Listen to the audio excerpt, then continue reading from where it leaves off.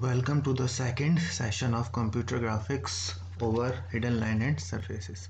In the previous lecture, we have discussed back backface detection algorithm. In this session, we are going to discuss depth buffer method.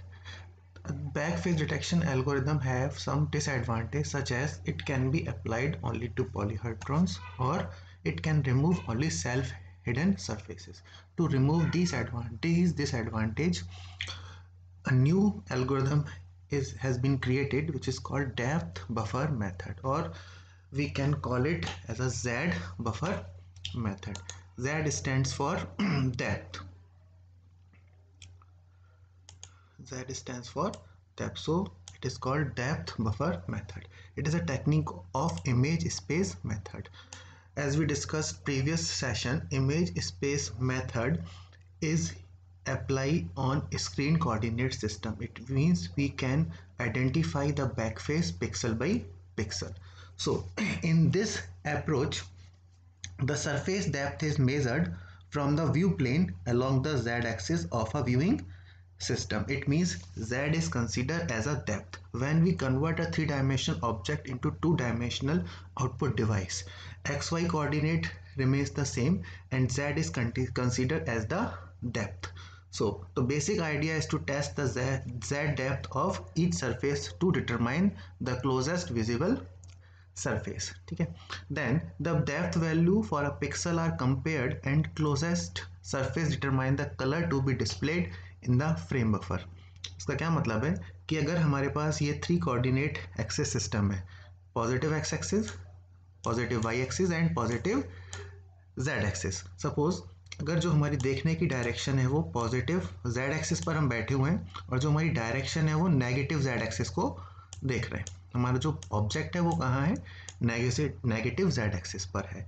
तो जो near surface होगा suppose these are three surfaces S one S two and S three suppose the value of this surface is minus two Z value of this surface minus two minus three and minus four so the nearest value of the position from where we are going to see the object is minus 1 so the remaining surfaces are hidden surfaces that is s2 and s1 so on the basis of depth we can identify which surface is visible or which surface is not visible. Now depth buffer algorithm consists two parts. First one is frame buffer and the second one is depth buffer as we know frame buffer is used to store the intensity value of a pixel. And the depth buffer is used to store the value of z. Okay. But in this approach the z coordinate are usually normalized to the range 0 to 1 so depth buffer is used to store depth values of xy position after projecting the image to the view plane and which is in the range of 0 to 1 now, in the frame buffer, which is used to store the intensity value of the color value at the position x and y after converting the three dimension object to two dimensional object. इसका क्या मतलब है कि अगर हमारे पास ये three axis हैं x axis y axis and z axis अगर हमारे पास कोई ये ऑब्जेक्ट है a कोऑर्डिनेट क्या होंगे x y एंड z मान लीजिए इसे मैं प्रोजेक्ट करता हूँ एक्स वाई प्लेन पर तो कोऑर्डिनेट क्या मिलेंगे? X and Y. तो जो जेड है, वो एज ए कंसिडर होगा किसके लिए? हमारी डेप्थ के लिए। ठीक है? तो now this is the working of depth buffer algorithm again here we use two data structure that is first one is depth buffer and the second one is second one is frame buffer depth buffer use to store the value of Z and frame buffer is used to store the intensity value of xy position. Now this is our two-dimensional plane x and y. This is our projected object x and y. At step 1 we initialize the depth of buffer z is equal to 0 and the frame buffer the background color of the screen which can be either black or white.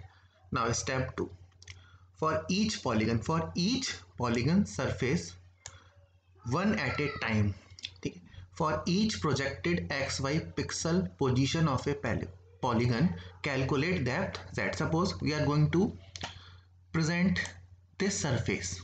So first we have to calculate depth position of this surface then depth position of this surface then depth position of this surface.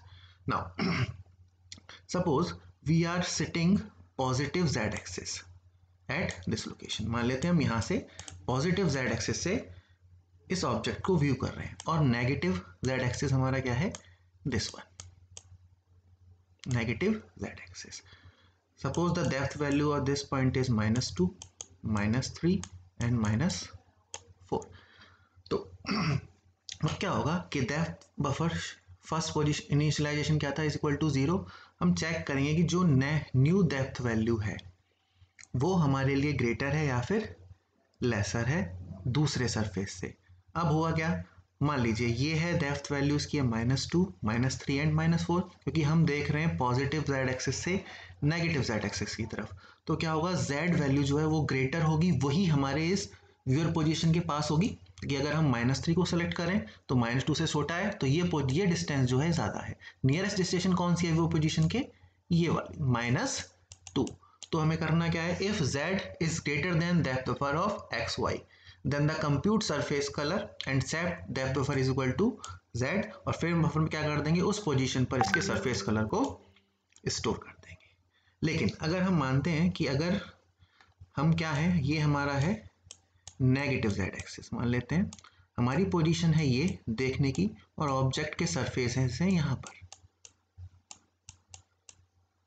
ये है x axis positive और ये है positive Y axis अगर इसकी value है to इसकी value है थ्री इसकी वैल्यू है फोर तो ये है S one S two and S three तो ओरिजिन या फिर व्यूइंग पोजीशन के नियर कौन सा सरफेस होगा? जिसकी डेप्थ वैल्यू कम होगी। तो क्या होगा? इस केस के लिए हम क्या चेक करेंगे? Whether if z is less than less than less than depth of x comma Y अगर ऐसी, ये कंडीशन ट्रू होगी तो हम क्या करेंगे? X Y is equal to Z और फ्रेम बफर में उस करस्पॉन्डिंग डेप्थ वैल्यू पर सरफेस कलर को एंटर कर देंगे। तो ये पोजीशन चेंज हो जाएगी। क्या बन जाएगा? Z is less than depth buffer okay तो ये डिपेंड करता है कि हमारी विंग पोजीशन क्या है। अगर viewing position negative Z axis की तरफ़ है दिस वे तो हम क्या करेंगे? Z is greater than depth of value store करेंगे z को। अगर डायरेक्शन है पॉजिटिव z एक्सिस की तरफ़, तब हमें क्या देखना है?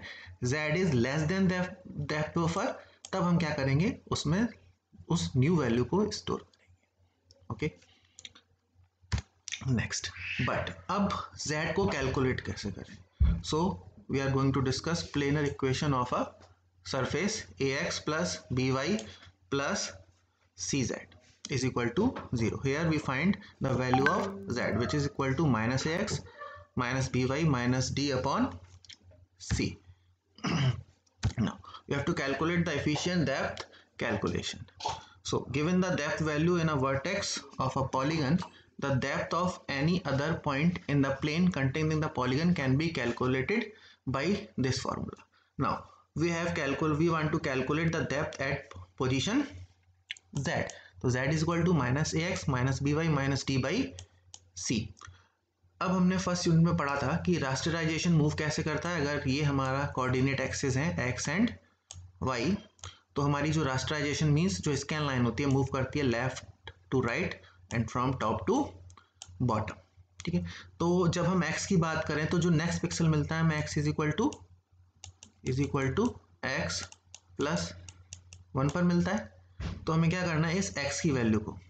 इस x की वैल्यू को हम रिप्लेस किससे कर देंगे? इस x प्लस वन से। तो z at x plus one equal to क्या हो जाएगा? Minus A x plus one minus B y minus D by C अगर आप इसको देखो, इस ब्रैकेट को ओपन करो तो हमें क्या मिलेगा? Minus A x minus B y minus D by C और ये क्या था? Is equal to this one is equal to plus minus one तो ये हमारी ऑलरेडी इक्वेशन थी, यानी जेड पूरा क्यों डिपेंड करेगा हमारे ऊपर? जेड हमारा डिपेंड करेगा z minus A by C again बताता हूँ कि जब आप इस ब्रैकेट को ओपन करोगे, ठीक है? तो जब पॉइंट उसके अंदर लाई करता है सरफेस के अंदर तो इक्वेशन क्या हो जाती है? ज़ीरो तो ये क्या हो गया? Minus A x minus A minus B y minus D अगर उसमें से हम सेलेक्ट करें माइनस ए एक्स को minus B y minus D by C which is equal to zero it means that is minus A by C तो हम इस constant के थ्रू ही हम फाइंड कर सकते हैं कि जो हमारी नेक्स्ट डेप्थ वैल्यू होगी वो क्या होगी। सो so, स्कैनिंग हम कैसे परफॉर्म करते हैं? लेफ़्ट टू राइट अगर ये हमारा विंडो है तो हम स्कैनिंग करते हैं left to right and top to bottom यानी x इज़ इक्वल टू क्या होता है? x प्लस वन और y इज़ इक्वल टू क्या होता है? y माइनस वन तो हर at every location of x plus one y minus we have to calculate z with the help of minus A by C both are constant both are constant if z की value जो होगी greater होगी current depth buffer से तो हम क्या करेंगे? उसे रिप्लेस कर देंगे z is equal to z new से, और उस पर करेंट इंटेंसिटी वैल्यू को हम फ्रेम बफर में स्टोर करते हैं तो ये एल्गोरिदम हमारी ऐसे काम करती है। ठीक है? These are the scan lines अगर हम बात करें तो स्कैन लाइंस हमारी मूव करती है ऐसे। नाउ कुछ डिसएडवांटेज हैं। Here are some advantage and disadvantage of depth buffer method advantage क्या है कि it is a easy to implement it is easy to implement, and it is, it reduce the problem, speed problem, or it process one object at a time. And the disadvantages are, it requires large memory and it is time consuming process. So this is the end of depth buffer method. Thank you